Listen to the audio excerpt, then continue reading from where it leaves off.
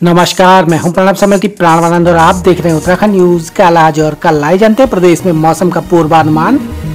मौसम विज्ञान केंद्र द्वारा जारी मौसम पूर्वानुमान के अनुसार 23 सितंबर 2023 को उत्तराखंड राज्य के उत्तरकाशी, चमोली, रुद्रप्रयाग, अल्मोड़ा उधम सिंह नगर तथा हरिद्वार जनपदों में कहीं कहीं हल्की से मध्यम वर्षा, जबकि टेरी देहरादून, पौड़ी, पिथौरागढ़, बागेश्वर, चंपावत तथा नैनीताल जनपदों में कुछ जगह हल्की से मध्यम वर्षा होने की संभावना है। जनपद स्तरीय चेतावनी के अनुसार उत्तरकाशी, चमोली, रुद्रप्रयाग, टिहरी गढ़वाल, देहरादून, पौड़ी गढ़वाल, पिथौरागढ़, बागेश्वर, अल्मोड़ा, चंपावत तथा नैनीताल जनपदों में कहीं कहीं गर्जन के साथ आकाशीय बिजली चमकने या वर्षा के तीव्र दौर होने की संभावना है। जबकि उधम सिंह नगर तथा हरिद्वार जनपदों के लिए कोई चेतावनी नहीं दी गई है।